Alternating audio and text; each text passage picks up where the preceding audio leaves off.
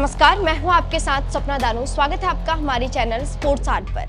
IPL 2025 से पहले Lucknow super giants में खलबली मची हुई थी कि जिसे लेकर खूब चर्चा हो रही थी। कप्तान केएल राहुल को लेकर लगातार खबरें सामने आ रही थी और कहा यह जा रहा था कि आईपीएल 2025 में लखनऊ केएल राहुल को रिलीज़ कर देगी, वो उन्हें अपनी टीम का हिस्सा नहीं बनाएगी। यहाँ तक कि नए कप्तान को लेकर भी कयास लगने शुरू हो गए थे और सूर्य कुमार यादव, रोहित शर्मा को लखनऊ का नया कप्तान बनने की उम्मीद की जा रही थी। लेकिन अब इन सभी कयासों पर कहीं न कहीं विराम लग चुका है, क्योंकि लखनऊ के मालिक संजीव गोयंका ने बड़ा बयान दे दिया है। जिसने ये पक्का कर दिया है कि लखनऊ का कप्तान कोई नया कप्तान नहीं, बल्कि के राहुल को ही इसकी ज़िम्मेदारी मिलेगी। आखिर क्या है पूरी खबर? चलिए आपको बताते हैं। आईपीएल 2025 शुरू होने से पहले लखनऊ सुपर जायंट्स ने फैसले लेने शुरू कर दिए हैं और ऑक्शन से पहले अपना नया मेंटोर भी चुन लिया है। उन्होंने भारतीय टीम के दिग्गज खिलाड़ी रह चुके जहीर खान को अपनी टीम का मेंटोर बनाकर एक अहम फैसला लिया है। जहीर खान से पहले गौतम गंभीर लखनऊ सुपर जायंट्स के मेंटोर थे।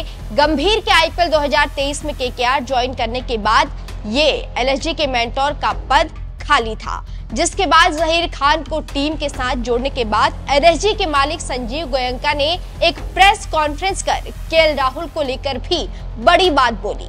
वहाँ उनसे सवाल किया गया कि खबरें आ रही थी कि लखनऊ राहुल को रिटेन नहीं करेगी, जिस पर के राहुल को लेकर संजीव गोयंका ने कहा के राहुल लखनऊ सुपर जायंट्स परिवार के एक अहम हिस्सा है। मैं किसी तरह की अटकलों पर बात नहीं करना चाहूँगा।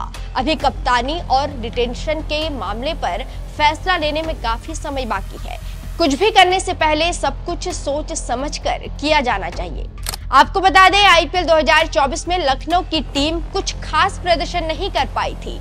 इस दौरान देखा गया था कि संजीव गोयंका मैदान पर ही कप्तान के राहुल पर काफ़ी गुस्सा हुए थे। उनका गुस्सा मैदान पर ही लाइव कैमरे में के राहुल के ऊपर फूट गया था, जिसका वीडियो सोशल मीडिया पर आग की तरह फैल गया था और तमाम तरह की प्रतिक्रियाएँ सामने आ रही थी। तब इस खबर ने काफ़ी सुर्खियाँ बटोरी थी और संजीव गोयंका के बयान से पहले तक ये माना जा रहा था कि आईपीएल 2025 में के राहुल एलएजे की कप्तानी नहीं करेंगे। यहाँ तक कि उन्हें टीम से भी हाथ धोना पड़ सकता है, ऐसा कहा जा रहा था।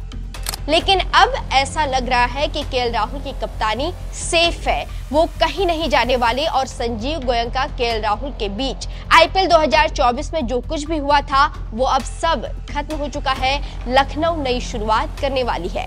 खैर, अब देखना होगा लखनऊ आईपीएल 2025 में कैसा प्रदर्शन करती है। किन रणनीतियों के साथ मैदान में उतरती है।